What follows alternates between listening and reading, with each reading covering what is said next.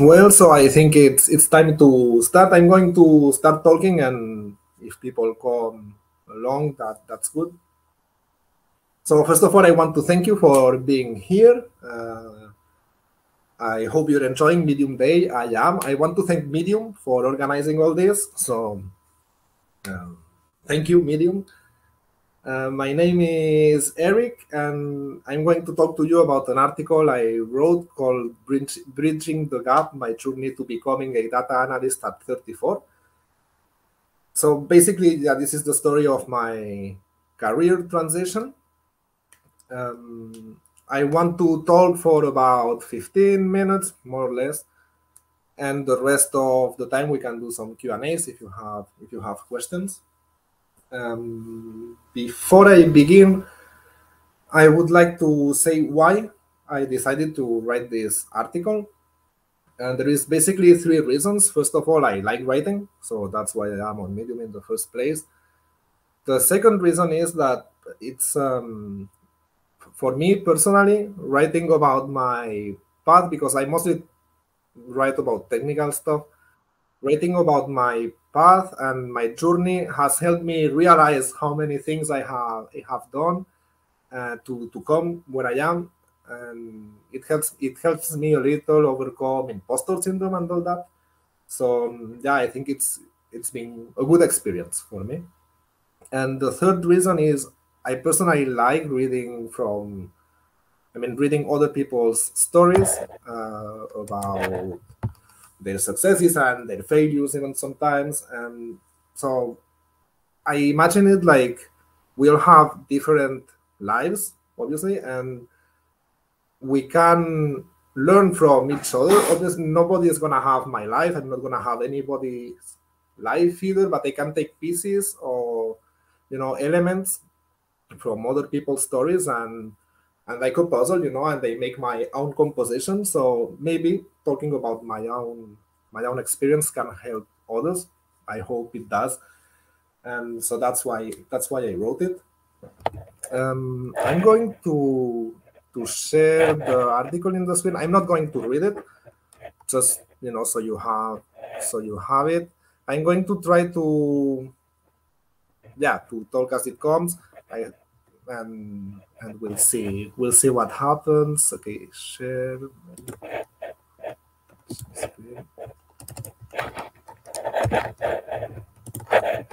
Okay so you should be seeing my article right now on medium.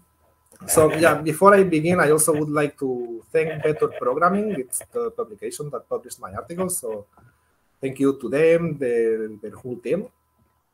Uh, i'm very grateful and these are pictures I actually take. So I I am just a hobbyist photographer, but I in fact I attended before um, today on Medium Day a fantastic conference about using photographies in your articles. So if you watched it, it's great, and if you didn't watch it, you can watch it in the yeah, because they're recording these videos. So yeah, this is Bergerac, the town where I live. So uh, let's begin. My so I am Eric. I am 36 right now. When I wrote this article two months ago, I was still 35. Um, I am a data analyst. I work uh, for a very big insurance company here in France. And yeah, it's been about a year and a half. Um, my journey to becoming a data analyst. So before this, I was a vineyard technician. So nothing related to tech, technology, all that um, before uh, becoming um, so yeah before i was a vineyard technician sorry and i want to talk to you about my my path. So i divided the story in three parts. I first want to let you know a bit where i come from and what i did before starting uh, to study technology. Then i want to share with you how i well, what's what I did to learn the stack and why I learned it. And then I want to end by telling you a little about how I actually landed my first job without a diploma. So I was I was born in Spain. I'm half Spanish and half French. I right, right now I live in France.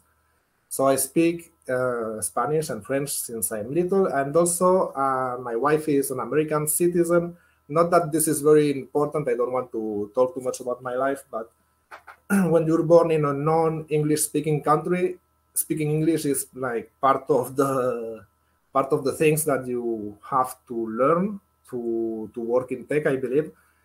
So I just thought it was honest to say it, and you know because that's actually something I didn't have to to make efforts to to learn. I don't obviously have a perfect English at all, but it's sufficient. Um, at high school, well, at school and then at, at high school, I was an okay student. I was not great. I was not terrible. Um, but I had no real passion about anything, no dream profession. So I just I completed my high school and I did one year of chemical engineering. Um, well, uh, kind of. I, I enrolled, we're gonna say it was a terrible year. I had a bad attitude, we're gonna say, towards life. I kind of parted the year away. And yeah, I'm not very proud of that, but it's done. So I, I remember I didn't like it, and I I especially did not like one class, and that was programming. So just to, to let you know that I was not passionate passionate about tech when I was growing up. Uh, in fact, my passion was more like living in the country. That's what I really wanted to do. Well, that's not doing something, but that was like one goal that I had. After that wasted year, I enrolled in biology. I, and that I completed my Bachelor of Science in biology. But I was not either passionate about it. I liked it, but I was not passionate. And I, when I was doing my my school, I I was thinking, what am I gonna do after this? And I found uh, about viticulture and enology. So this is the the science of winemaking. And I thought, yeah, I'm gonna do that, and that's gonna allow me to live in a rural environment. and after my studies of biology, I went to Bordeaux, where I did a master's degree in viticulture and enology. And short after that, I started working in the wine industry. Today, when I look at my short experience in the wine industry, I'm gonna scroll down a little. So, yeah, it's about here. Today, when I when I look back at my short experience in the wine industry, it's not a negative. It's not negative overall it's allowed me to live in the country, which was my primary goal. I've lived in villages of population 10 to small to small towns where I am right now, for example, Bergerac. In fact, today I live in Bergerac. It's thanks to the fact that I was doing a job that allowed me to live in rural areas and also to the fact that I am full remote right now. So I'm very grateful for that. Um, so it's allowed me that. It's also allowed me to travel a lot across France. Sometimes, as a joke, I say that I was kind of a non-digital nomad, but I was not very nomadic. But I have really been living in.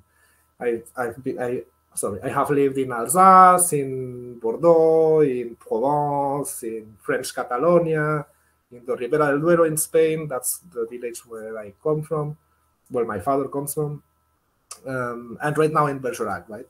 So that was that was all good. On the bad side, the pay was low, very low, and there was not like um, good expectations of it getting better. And and I encountered some toxic people in my way. I believe this is not specific to the wine industry. That was my own experience, but it helped me kind of resign it a little so that's that. But I have to say that this is not why I decided to get into tech. So this is a picture I took this year in Bretagne, where my grandmother lives, that I went to see this year. It's the kind of places I like living in. Um, I called the switch, so this is the second part of my article, how I got into tech. The moment when I decided that I was gonna start studying technology. Not even that I was going to to get in there. I worked for a winery where they had like no software at all, right? They, when I arrived before me, the vineyard technicians were contractors with their own software and they didn't have anything. And when I told them that they should try invest in something, they told me maybe we have like two or three hundred euros, and that meant like once, not even per year. And so I basically knew I was screwed. I had 600 hectares to follow. Um, this is big, right? And or across 15 different towns, and there was 70 wine growers that I had to that had vines that I had to monitor. So it, I, I needed some kind of computerized solution, right? And I, I made me a system that consisted in free, free not as in open source free, free as in zero money cost. Uh, it had um, Locus Map, which is a an app to for hiking. I use Geoportail, which is a French service to draw. You can do many things. I use it to draw polygons that I could see with Locus Map. I used Kobo Toolbox to to get data from the fields. I mean, it was something. I'm kind of proud that I came with you know to this solution, but it was really not scalable and a bit painful to use. And all this led me to continue looking for solutions. I discovered a software called QGIS. So this is GIS stands for Geographic Information Systems. It's a type of software that lets you do spatial anal analysis and draw maps and all that. But it was too wide and too big, right? So I, I learned how to use it, but to extend it, you need to use Python. And that's how I started learning Python.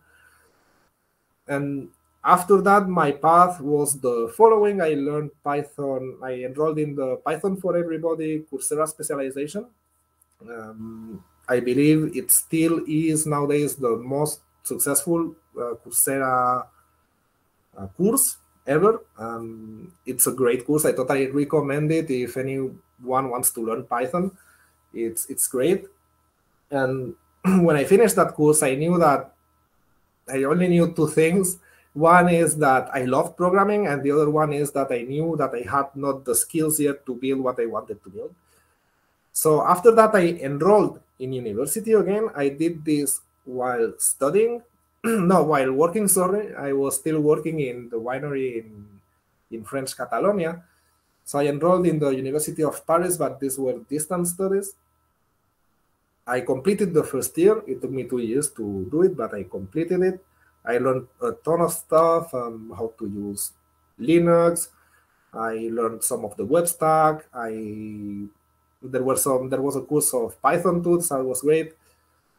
yeah, I, am overall I'm satisfied with what I learned, but uh, I had to move because I changed jobs in the after four years in in Perpignan. I moved to where I am right now in Bergerac to work still in the wine industry.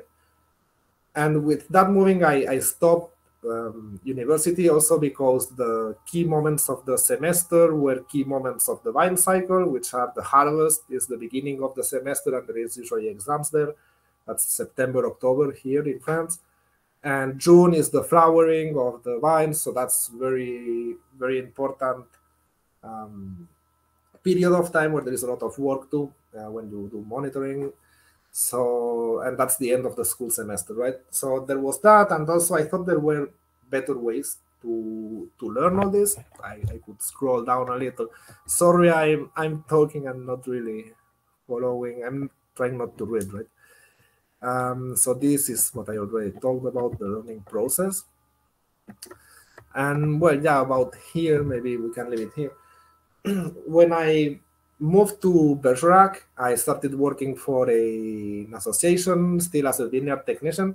And instead of studying too much, I started um, writing some code. Today, when I say it, I think, oh my god, it's it's not great, but actually it did what it had to do. So I used little scripts to make my life easier at work. I coded all days uh, at night or during weekends, and I really was loving. Um, I even wrote, sorry, a QGIS plugin, so I'm kind of proud of that. It's like a milestone for me because I, I was kind of obsessed, right? Like I wanted to build a QGIS plugin uh, no matter what, and I did it. Um, the code is not great, but it works kind of, right? No, it, not kind of, it works. Um, so um, yeah, I I was really loving programming and all this, so I thought, well, why not make this my my profession? And that's when I when I decided that I was going to get a job in tech, no matter what. I didn't feel quite ready, so I decided to this is the changing process. I'm gonna leave it here at the picture. Um, I decided that, uh, so I enrolled, sorry, in, by the way, this is the third part of the presentation on how I, how I get my first job in data analysis. I enrolled in two Coursera courses. One is the IBM Data Science Specialization, and another one is the Google Data Analytics, uh, also specialization, both in Coursera. I wanted three things. One, I needed something to put in my resume, to write it, to decorate my resume, if you wish. I needed projects for my portfolio, so that's I used those two projects along the scripts that I wrote at work. Well, it was not at work; it was after work, but I used them for work. And also, I was looking for because until then I had learned Python. I had learned uh, the web stack. I had learned, you know, different technologies. I wanted a course that was specific about how do you do this job of data analyst, right? And that is focused on the task that you have to do and that uses the tools. And for that part, it was it was great. I did those two courses. I left uh, the job I was doing with the intention of enrolling in a bootcamp but while I was applying to this bootcamp, I did all my resume. I created some YouTube short videos that showcase my portfolio, kind of. And I did some things like that. I rebuilt my LinkedIn profile and and I uploaded my resume to a French platform uh, for employment. And within the same day, I got three calls. Um, and after 15 days, I got hired. So I didn't do the bootcamp, obviously. So yeah, I have to say that a year ago, it was this was a little bit over a year ago. It was in May of 2022 when I got the call. The job market was more favorable than now, but it's still in France. I know in other parts of the world this is a bit different right now, but in France it's still favorable for the for the workers, for people who are looking for jobs there's still high demand, but yeah, it was even easier a year ago. So probably that that helped me too. So and this is a sunset in Bergerac. Uh, this is taken from the bridge that is in the cover in the in the first picture. So um, that's that's my path. Uh, that's my article. You can go and read it on Medium. I hope you liked what I told you, and if you guys have questions, I am willing to take them. Uh,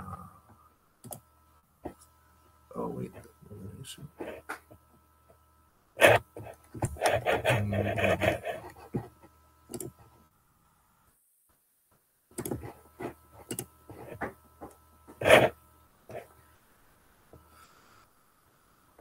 So I don't see the questions, if there is any. Um, but I know that some people didn't used to see them, so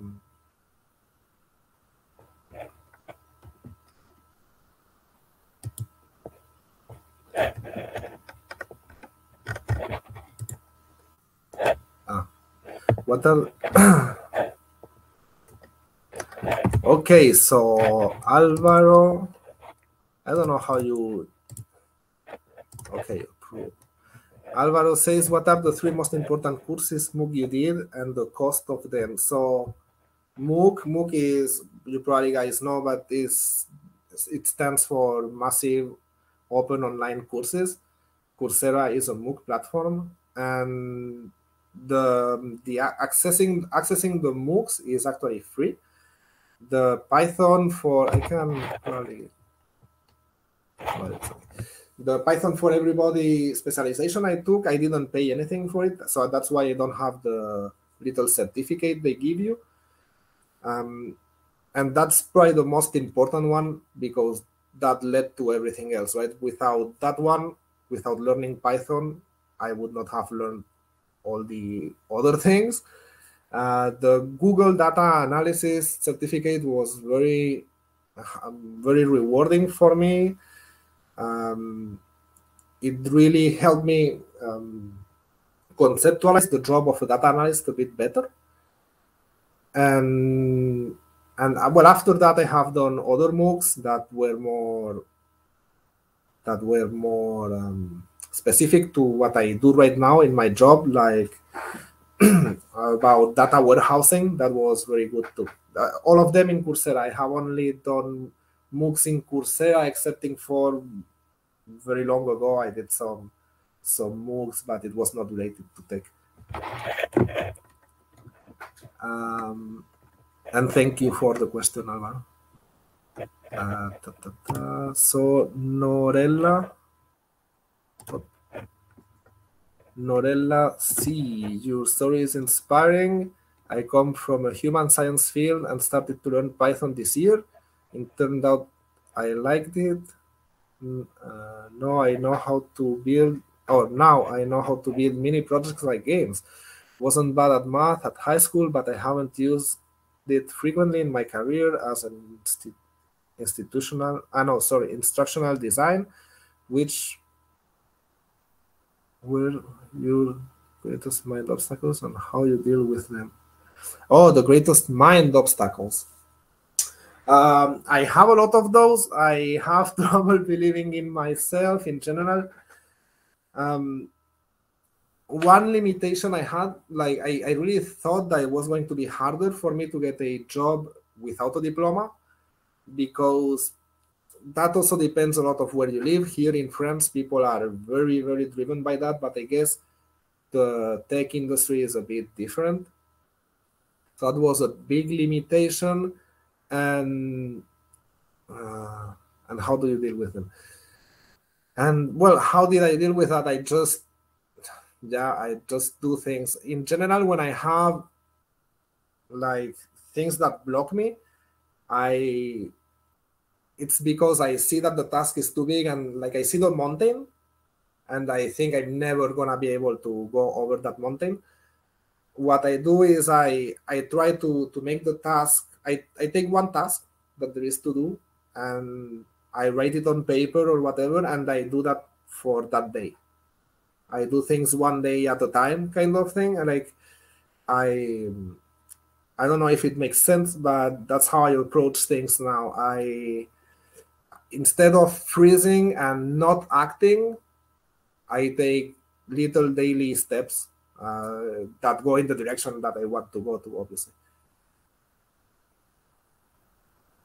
Like I started writing on Medium, and why? I I mean, I thought for a long time I thought, man, it would be good to write on Medium, and one day I thought, well, then write one article, and you'll see what happens after that, right? And I, yeah, and that's how I started this year. I started this year.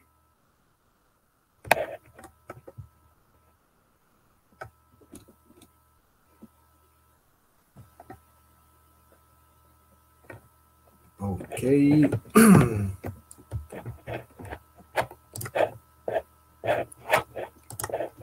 okay, I think those are all the questions. It's least five minutes.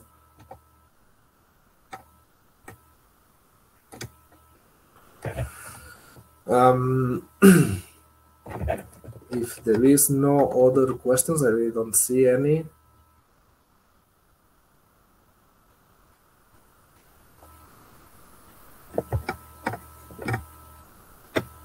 I did not prepare anything else. I could talk about how this year has been going. So yeah, I have. I think I've said it at the beginning, but this first year in data analysis, it's been really, really good for me. I am, and just to follow with the answer I was giving to Norella, I I really thought it was going to be harder, but actually I'm doing pretty good at work, right? So I really I had these limitations that were just in my head, and and at the end it's it's fine. So just sometimes just doing things is is the best answer.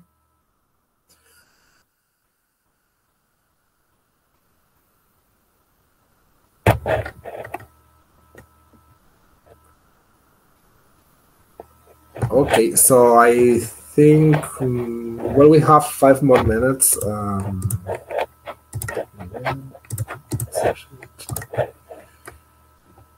uh, oh, okay. Yeah, sorry, Jack Wang. I just saw that you. I was looking at the Q and A part. Uh, it's no, if not a data scientist, what job would you choose and why? Uh, I can always come back to the wine industry. No, I mean, when you say if not a data scientist, I before moving into data science, I thought about still in tech. I thought about um,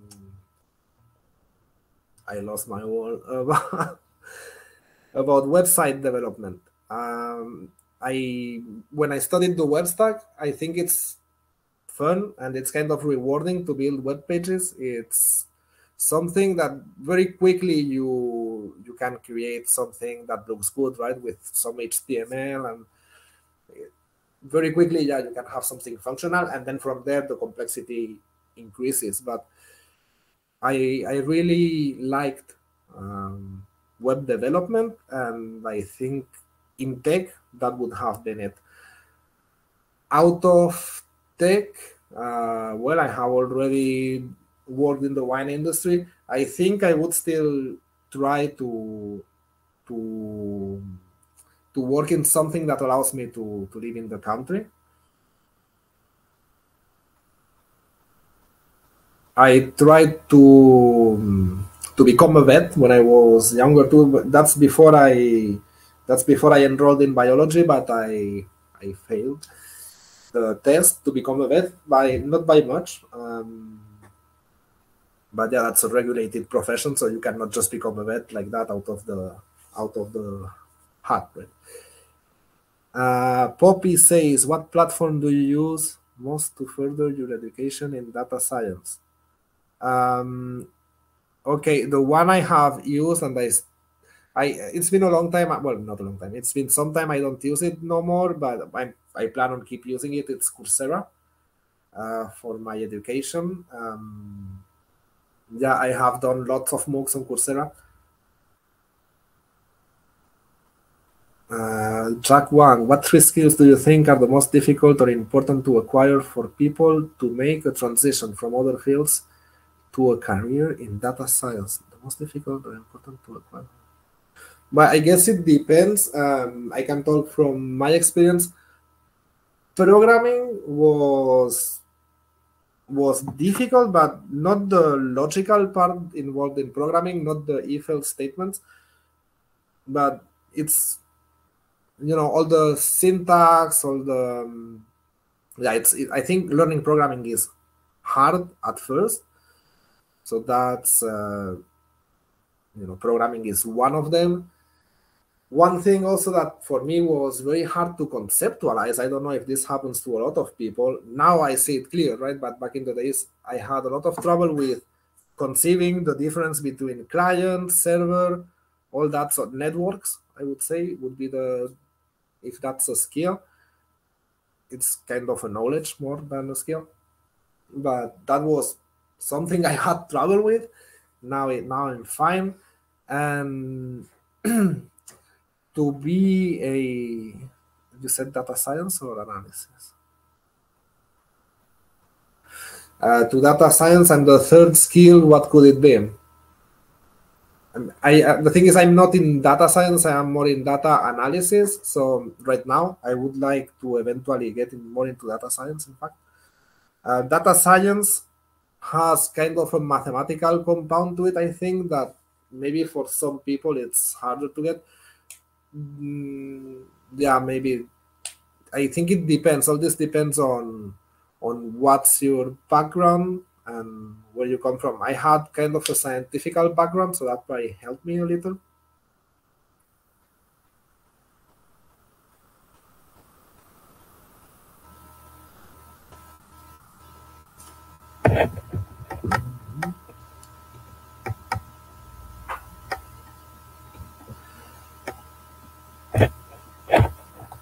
So um, it's it's nine. Um, I want to thank you all for coming to the conference, and I hope you you continue having a fantastic Medium Day. If anyone has more questions, I am still here, but I I don't know. I, I think they don't cut the they don't cut the session at nine. Thank you too for being here, Jack.